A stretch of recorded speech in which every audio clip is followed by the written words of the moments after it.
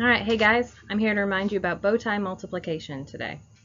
Some of you use bow tie multiplication as a way of remembering the steps to do two digit times two digit multiplication.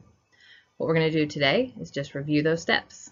I'm here in costume with my bow tie, my pillow to plump, and my broom to do some housekeeping.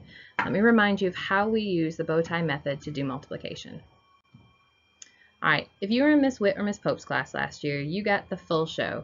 I rolled up to class in a bow tie for like two weeks. I brought my pillow to plump, so I remembered to put my placeholder zero, and I brought my broom to do some housekeeping. Those are the three big steps that you need to remember to do if you're going to do the bow tie method multiplication. Alright, I've already got this example done for you, so we're just going to kind of go through the steps that I did to get there. So to begin with, you always multiply the ones first. We know that 3 times 5 is 15. So you can see my 5 and then I carried a 1. I added the plus sign to remind myself to add it at the end. Next I multiply the tens. 3 times 7. 3 times 7 is 21, but I have to add that 1 on top. That equals 22. So my first partial product is 225. So when the rest of the costume comes in, got to plump my pillow, nice round placeholder 0 right here, and I need to do a little housekeeping. So I'm going to sweep up so that I know I don't need to add that one again. Then I'm ready to finish my bow tie. Multiply the ones again. 4 times 5 is 20. 0. Carry my 2. Add a plus sign so I remember to add it. And then I multiply my tens. At this point, you can see that I've got my full bow tie here. 4 times 7 is 28. Plus 2 is 30. So my other partial product is 3,000. Then I know all I need to do is add my two partial products to get my final product, of 3,225. If I have done the entire bow tie procedure, then I have a bow tie, I have a plump pillow, or a zero, and I may or may not have done my housekeeping depending on whether or not I had to carry anything when I got my products. Got one more example. Here's what I'd like you guys to do. Follow along and see if you can remember the steps as I solve this one.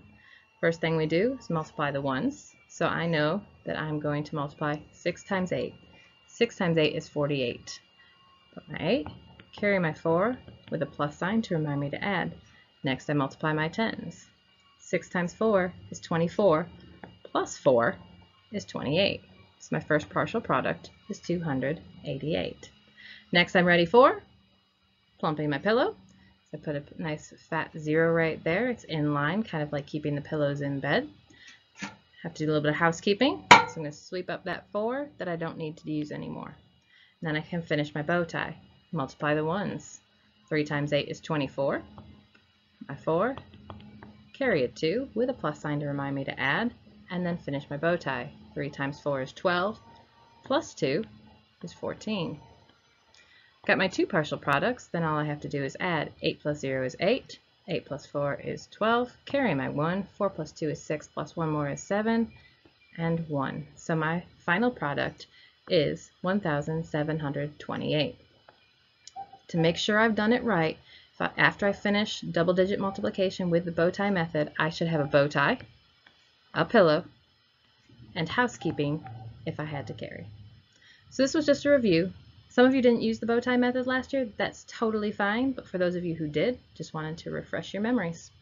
Hope this helps.